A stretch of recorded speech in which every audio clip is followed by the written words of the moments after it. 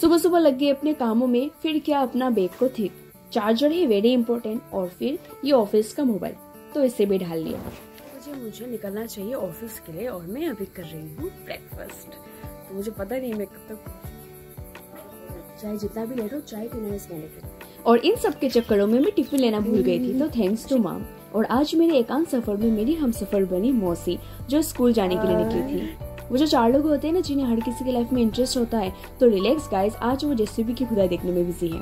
सूरज चाचू निकले मतलब गर्मी। तो बस अपना सूखा हुआ गला भिगाया और फिर कुछ नहीं किया क्योंकि कुछ काम ही नहीं था।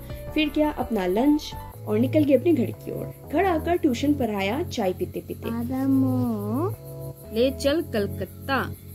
ले चल कलकत्ता। कलकत्ता।